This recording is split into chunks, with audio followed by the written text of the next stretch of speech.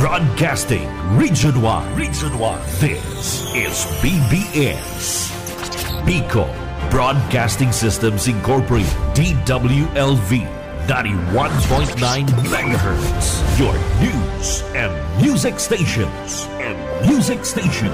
BBS. Basta Bareta. Sigurado. Muli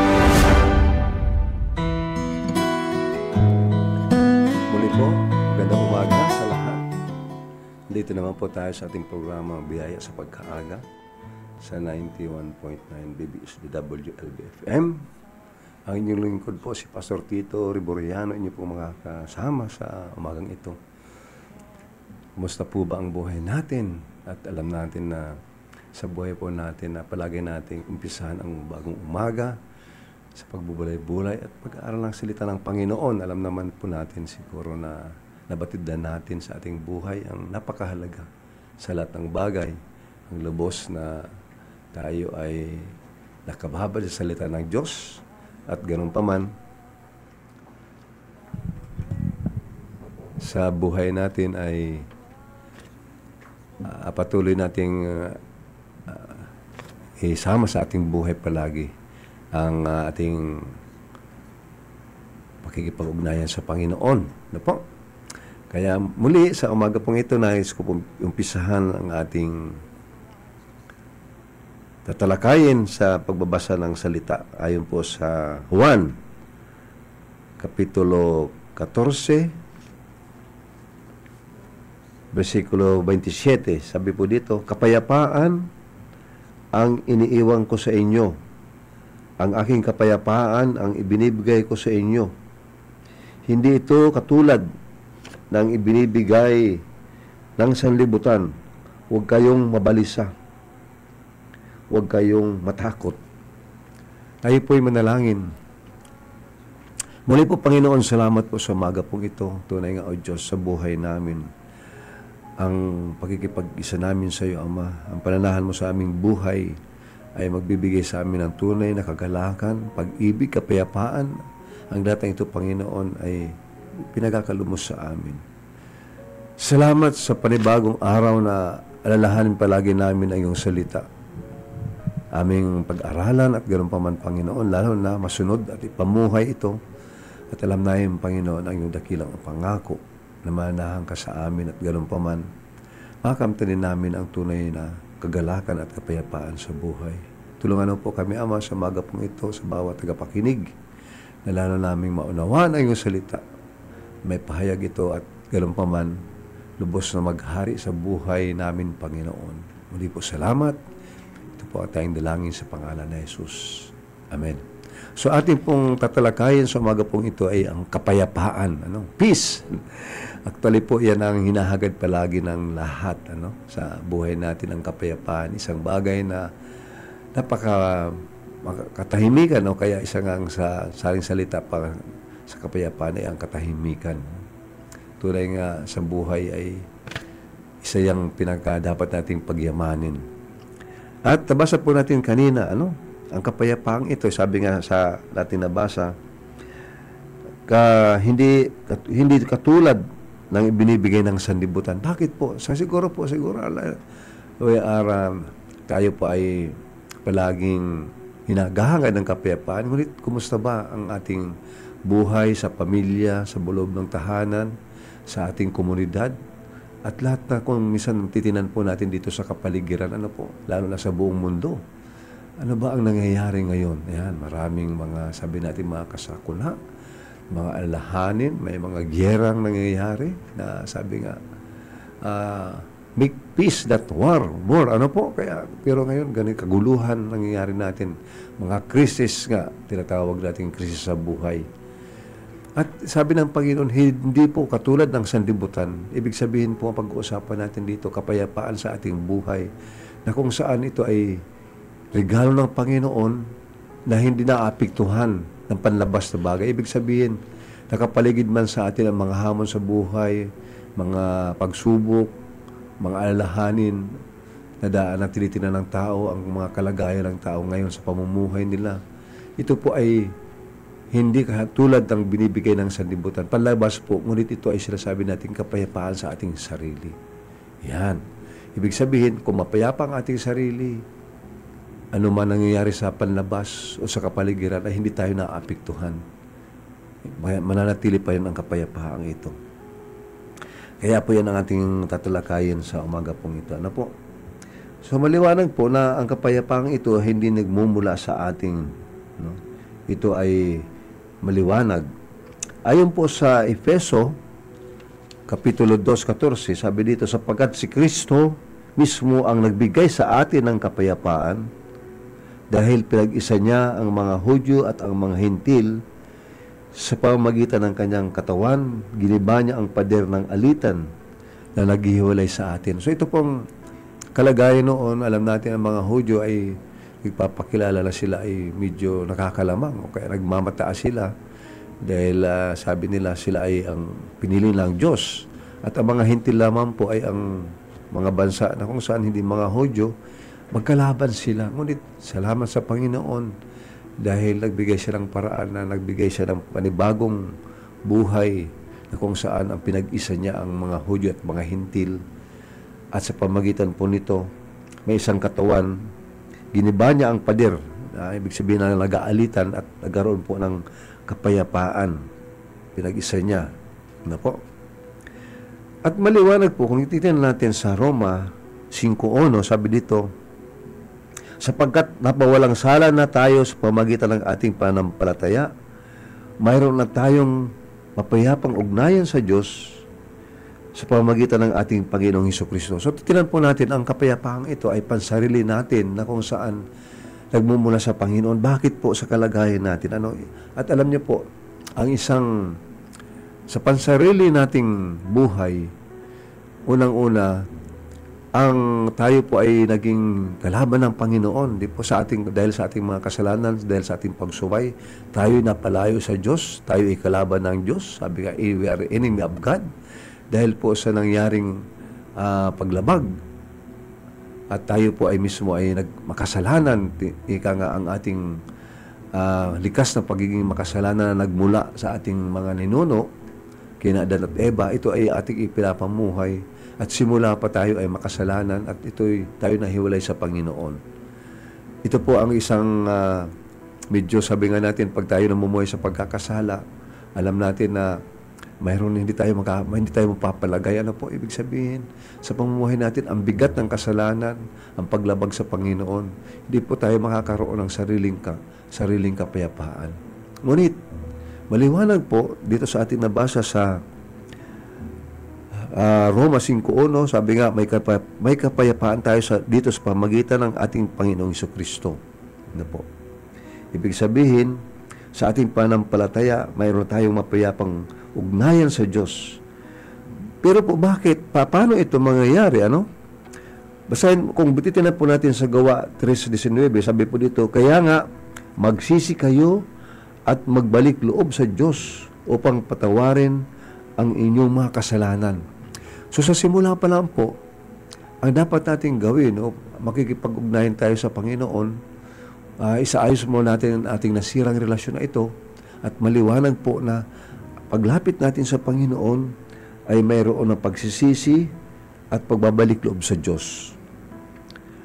At sa pamagitan po nito, pag humingi po tayo ng tawad, alam niyo po yung pagsisisi ay hindi lang po tayo nalulungkot sa ating mga kasalanan. Ngunit, ang tunay na pagsisisi ay ang paghingi ng kapatawaran ng ating mga kasalanan sa Diyos at pagtalikod nito at iyan po, sigurado po ang pangako ng Panginoon dahil po sa, sa sangkatauhan o dito po sa sanlibutan, wala na pong ibang magandang nag-iiral na patakaran na pamumuhay natin kundi ang salita ng Panginoon mismo.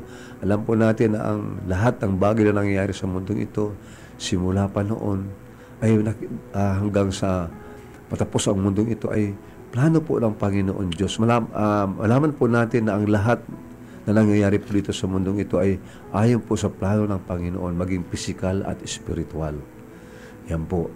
Kaya po, ang isa pong uh, ang pinaka-solusyon, ika nga, na magbibigay sa atin ng tunay na kapayapaan ay paglapit natin sa Panginoon, paghingi ng kapatawaran at iyan po ang pag, uh, pagpapatawad natin mga kasalanan, iyan po ang tunay na pagbabalik loob natin sa Panginoon.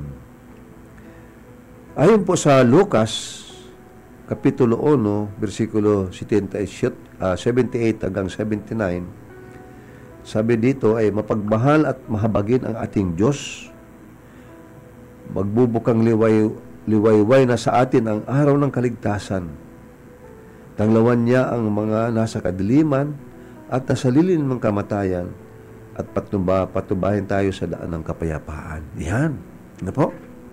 Alam niyo po, sa panahon ngayon, ang tao po ay, sabi nga, namumuhay sa kadiliman o sa kasalanan kaya po, o kung titinan natin kung bakit hindi tayo nagkakaroon ng tunay na kapayapaan sa, san, sa sangkatauhan o sa kapaligiran natin, may mga kaguluhan. Ito, ang kaguluhan pong ito ay bunga ng kasalanan. Ano? Ang isang tao, pag maka, makasarili, na nais siya mabuhay na pansar, pansarlin lang, ibig sabihin sa kanya lang lahat, selfishness, ika nga, wala pong kapayapaan mangyayari sa mundong ito.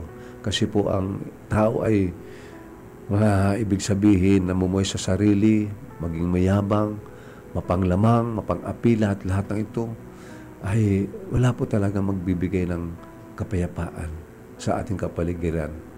Kaya dapat magsisimula sa bawat isa na dapat tayo ay makipag-ayos sa Panginoon at ito ay sa pamagitan ng paglapit sa Kanya na po uh, magsumunod sa Kanya at uh, sigurado po na tayo ay papatubayan ng Diyos. Sabi nga dito sa ating nabasa, katanglawan niya ang mga nasa kadiliman at nasa lilim ng kamatayan at papatubayan tayo sa daan ng kapayapaan. Yan, napakaganda ng pangako po ng Panginoong Iso Kristo. Po. At lalo na sa kanyang pag-anyaya sa bawat isa.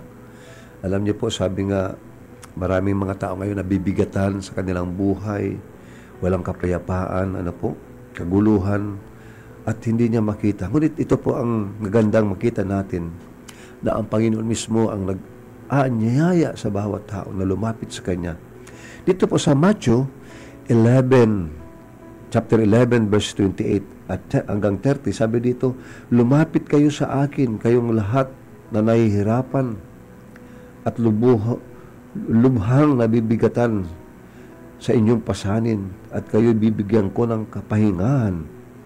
Pasanin ninyo ang aking pamatok at matuto kayo sa akin sapagkat ako'y maamo at may mababang, mababang loob. Makakatagpo kayo sa akin ng kapahingahan sapagkat madaling dalhin ang aking pamatok at magaan ang pasaning ibibigay ko sa inyo. Yan. Alam niyo po, Talaga actually po, pag tayo po ay malayo sa Diyos, namumuhay sa pagkakasala, wala po tayong kapayapaan at napakabigat ng buhay. Ngunit dito po sa pagpaanyaya ng Panginoon, malaking bagay po ito makita natin na sabi, sabi po dito ay lumapit tayo sa Kanya, pasayan natin ang Kanyang pamatok at matuto sa Kanya. Ayan. Sa pamagitan po ni Jesus, pag tayo po sumunod, alam po natin na hindi po nagpapabigat sa atin. Marami pong mga sabi nga, ah, parang sabi mo na natin, ah, ayaw nating magbasa ng Bible, tapos sasabi natin, ah, ayaw kong sumali sa isang relihiyon o ano pa man na ano. Actually po, ang ino-offer ng Panginoon ay hindi po relihiyon, kundi relasyon sa Kanya. Napakaganda pong wala, makita po natin na nasa Kanya talaga ang kagaanan, kapayapaan sa buhay. Kaya ito pong pag-anyayang ito ng Panginoon ay universal, ibig sabihin sa panglahak, pangkahalatan po. At sana dapat na matagpuan po ito ng bawat tao. Ang pag-anyayang ito ay dapat pong samantalahin, sundin, at alam niya po kung saan, kung gagawin po natin mga bagay na ito, ano po ang magiging bunga. Ano? Sabi dito, makakapag, makakapag, makakatagpo tayo ng kapahingahan. Yan, rest. Ano po? Yan.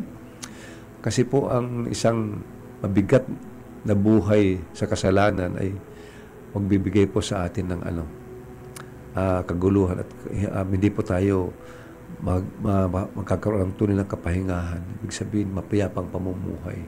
Kaya po ang pag, pag-akay sa atin, ang pag-anyaya sa atin na pag, tayo sa Panginoon, ay makakatagpo po tayo ng tunay na kapahingahan at kapang, ang kapahingahan po ito ay may kaugnayan sa kapayapaan o katahimikan ng ating buhay. Iyan. Kaya po, sabi nga sa Hebreo 4, versikulo 1, kaya nga habang nananatili pa ang pangako ng Diyos na tayo'y makakapasok sa kapahingahang sinasabi niya Mag-ingat kayo at baka mayroon sa inyong hindi makatanggap ng pangakong ito. Sa versikulo 6, sabi po dito, ang mga unang nakarinig ng magandang balita ay hindi nakapasok sa lupain ng kapahingahan dahil hindi sila sumampalataya. Ngunit may mga inanyayahan pa ring pumasok sa lupang iyon ng kapahingahan. Kaya't muling nagtakda ang Diyos ng isa pang araw na tinawag niya ngayon. Pagkalipas ng mahabang panahon, sinabi sa pamagitan na ni David sa kasulutang nagbabanggit ngayong kapag narinig ninyo ang tinig ng Diyos, huwag ninyong patigasin ang inyong mga puso. Yan, ano? Kaya po, mga kapatid, sa pamagitan po ng biyaya sa pagkaaga, sa pagpapahig ng salita ng Panginoon, sa ating mga napapakinggan ay sana bigyan natin ng pagkakataon. Sabi nga natin, huwag nating patigasin ang ating puso. Samantalahin po natin na wala nang ibang makapagbibigay sa atin ng tunay na kasaganaan, kapayapaan sa buhay na ito ay sa pagkakaroon ng tunay na relasyon sa Panginoon. At sabi nga dito, nabagit dito ang mabuting balita. Ano sabi dito? Ang mga, mga ang mga unang nakarinig ng magandang balita ay hindi nakapasok sa lupain ng kapahingahan dahil hindi sila sumampalataya. Yan. So ang pinakaki o pinakasusi po ay ang pagsampalataya natin sa mabuting balita. Ano po itong mabuting balitang ito? Siguro po palagi natin itong binabanggit dito sa biyaya sa pagkaaga na ito pong mabuting balitang ito o ebanghelyo ay ito po yung kapamaraan ng Panginoon na mismo ang Panginoong Yesus ay inabot ang sangkatauhan o ang tao. Siya po ay Diyos na nagkatawang tao, bumaba dito sa lupa, at inalay ang kanyang buhay para sa atin. Siya po ay namatay. Sa krus, inilibing, muling nabuhay at uminakit sa langit at muling babalik. Iyan po ang pinakakabuuan o pinaka-essence kung bakit ang Panginoong Kristo ay pumunta po dito sa lupa upang bigyan daan na ang tao o sangkatawan ay makipagsundo sa Panginoong Ama dahil alam natin na ang bunga ng kasalanan ay kamatayan at kabigatan sa buhay. Hindi po, wala pong kapahingahan kung tayo namumuhay sa pagkakasala. Ngunit, ang Panginoon mismo ay nagbigay ng paraan. Ito po yung mabuting balita na kung saan ang Panginoong Kristo ay Diyos ng katawang tao at binigay niya ang kanyang sarili at alam natin, ang ginawa ng Panginoong Yesus sa, sa pamagitan ng kanyang dugo at kamatayan, tayo po ngayon ay binigyan niya ng kaparapatan na makipagsundo sa Panginoon, makabalik tayo sa Kanya. Na po? Kaya po sa ating nabasa, maliwanag po kanina, di ba? Sabi dito sa Juan 14.27, Kapayapaan ang iniiwan ko sa inyo, ang aking kapayapaan ang ibinibay ko sa inyo, hindi ito katulad ng kapayapaan na ibinibigay ng mundo. Huwag mahabag-habag ang inyong kalo kalooban at huwag kayong matakot. Yan. Alam niyo po, tayo po ay pag nakipagsundo na sa Panginoon, tayo ay pinatawad ng ating mga kasalanan, hindi tayo matatakot, hindi na tayo mahihiyang magharap pagdating ng Panginoon sa Kristo sa ating buhay. Ano po? So, ang pagkapayapang ito po ay maaari natin makamtan Ayon nga po sa Juan chapter 16 verse 33, sabi dito, sinabi ko ito sa inyo upang sa inyong pakikipag-isa sa akin ay magkaroon kayo ng kapayapaan. Magdaranas kayo ng kapigatian sa sanlibutan ito, ngunit tibayan ninyo ang inyong loob na pagtagumpayan ko na ang sanlibutan. Yan. So sa sa, sa, pag, sa, sa gitna po ng kapayapaan na ninanais natin o nasa sa ating buhay, alam niyo po, sa kapaligiran natin, ay mayroon pa rin mga kapigatian na tinatawag.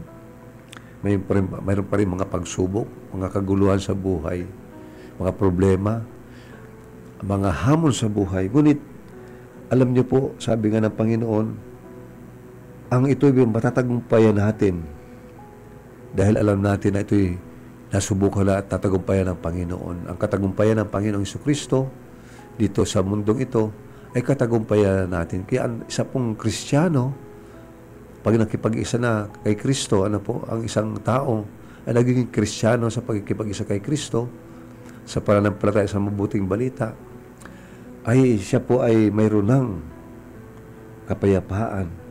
At ito po ay regalo ng Panginoon na nagbumula sa Diyos na hindi maapektuhan ng mga pangyayari sa panlabas. Na po.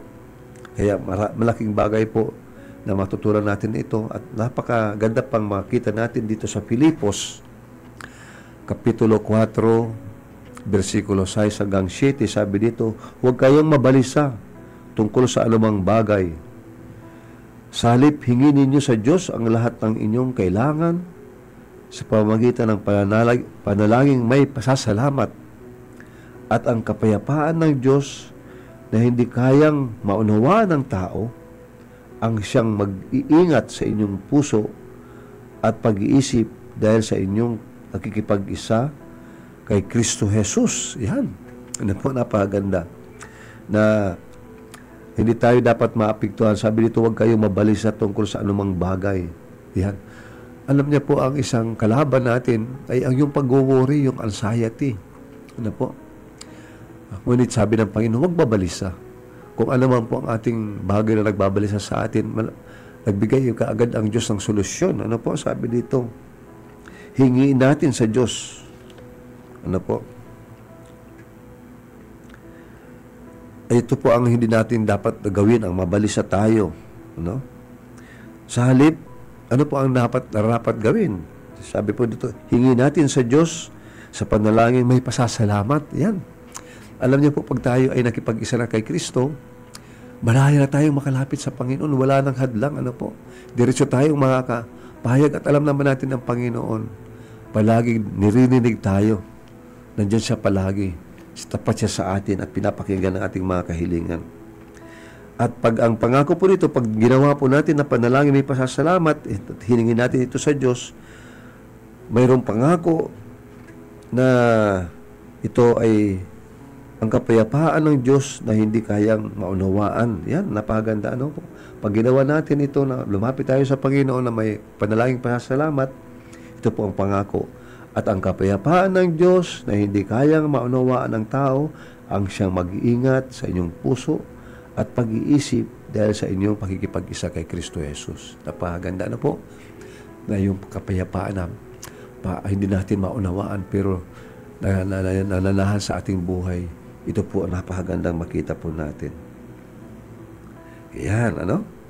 So sabi po dito sa Roma, Kapitulo 8, versikulo 6, ang pagsunod sa hilig ng laman ay naghahatid sa kamatayan, ngunit ang pagsunod sa Espiritu ay nagdudulot ng buhay at kapayapaan. Yan, ibig sabihin, ang tao po nakipag-isa na kay Kristo ay hindi na po namumuhay sa kadiliman. Ibig sabihin, hindi na po tayo namumuhay sa kasalanan o kaya hindi na tayo na namumuhay sa hilig ng laman. Sa halip, tayo po ay naglalakad na sa kapangyarihan ng Espiritu Santo. Malaman po natin na tayo binigyan ng Diyos ng kapangyarihan na ipamuhay ang buhay na may kapayapaan sa pamagitan po ng kanyang banal na Espiritu Santo na nagbibigay, na nanahan sa atin at nagbibigay natin nagbibigay sa atin ng kapangyarihan upang maipamuhay natin ang tamang buhay, maipamuhay natin ang paglakad natin ito sa Espiritu ay magbibigay sa atin ng dulot ng buhay at kapayapaan. Na po? So napakaganda po makita natin ang lahat na nayam na binibigay ng Diyos sa tinatalakay po natin ditong kapayapaan. Ano? Kaya sa ating pong mga panghuling talata, sabi po dito sa Kolosas Kapitulo 3.15, Paghariin ninyo sa inyong puso ang kapayapaan, kaloob ni Kristo, sapagkat iyan ang dahilan kung bakit kayo tinawag sa isang katawan. pagpasalamat kayong lagi. Ulitin ko, ano po? Paghariin ninyo, ayon po sa Kolosas, Kapitulo 3.15, paghariin ninyo sa inyong puso ang kapayapaang kaloob ni Kristo, sapagkat iyan ang dahilan kung bakit kayo tinawag sa isang katawan, pagpasalamat kayong lagi. Yan po ang pagkatawag sa atin ng Panginoong Iso Kristo sa kanyang katawan, kung saan po ito po yung iglesia, na tayo po ay nagiging bahagi ng katawan ni Kristo at tayo po ay ngayon ay may kapayapaan na na nanggagaling sa Kanya. So ito po yung libreng kaloob ng Panginoon. It is a gift of God na binibigay sa atin oras na tayo sumampalataya sa Panginoong Iso Kristo sa pamagitan ng mabuting balita. So, sana mga makakapatid ay ating pong naunawaan ang mensahe sa umaga pong ito. Ang kapayapaang dulot ng pakikipag-isa natin kay Kristo at ito po ay makukuha natin, binibigay ng Diyos sa atin na libre kung tayo po ay mananampalataya sa mabuting balita, walang iba kundi kung ano ang ginawa ng Panginoong Iso Kristo na siya ay namatay, inilibing, muling nabuhay, uminakit sa langit at muling babalik. Ang pagtitiwalang pong ito ay may, ka, may kasama ng pagsisisi upang tayo patawan ang ating mga kasalanan at tumalikod sa ating mga pagkakasala. So mga kapatid, salamat po muli sa bawat isa sa ating mga tagapakinig. Ganun pa man, nawa ang kapayapaang ating napag-usapan sa umaga pong ito ay mangyari po sa buhay ng bawat isang na tumawag sa Panginoon. Kaya po salamat at muli po tayong dadalangin sa ating pagtatapos sa isang panalangin. Manalangin po tayo. Muli po, Panginoon, salamat po sa umaga pong ito. Tunay nga, O Diyos, napakayaman na iyong salita. Tulungan mo po, Ama, na alam po namin sa sasanlibutang ito ay may kaguluhan ng mga nangyayari, mga mga kabalisahan. Ngunit, Panginoon, salamat po dahil alam namin na nais mo kami bigyan ng tunay na kapayapaan ng buhay. Tulungan mo po, Ama, na kami gamitin mo bilang channel upang maipahayag ang kapamamaraan ng ito na ang kapayapaan ay matatagpuan lamang sa pananampalataya sa pamagitan ng mabuting balita sa iyo mismo, Panginoon, dahil ikaw mismo ang nagbibigay nito sa amin. Salamat po muli, Panginoon, sa umaga pong ito. Salamat din sa, sa aming sponsor, si Ma'am Lalaine uh, Villapuerto Abonal, na patuloy pong nagtataguyod ng programang ito sa aming mga sponsor, sa aming pong mga kasamahan sa radyo, si uh, kapatid na Stephen sa kanyang buhay, Salamat po sa technical side na, na kung saan sa patuloy pong pagtataguyod. Uh, salamat Panginoon sa lahat, Panginoon. Nawa o Diyos sa aming buhay ay matagpuan ng lubos hanggang sa muling pagbabalik. Kaya muli po, salamat. Ito po ang tayong dalangin sa pangalan ng Panginoong Kristo. Amen and Amen.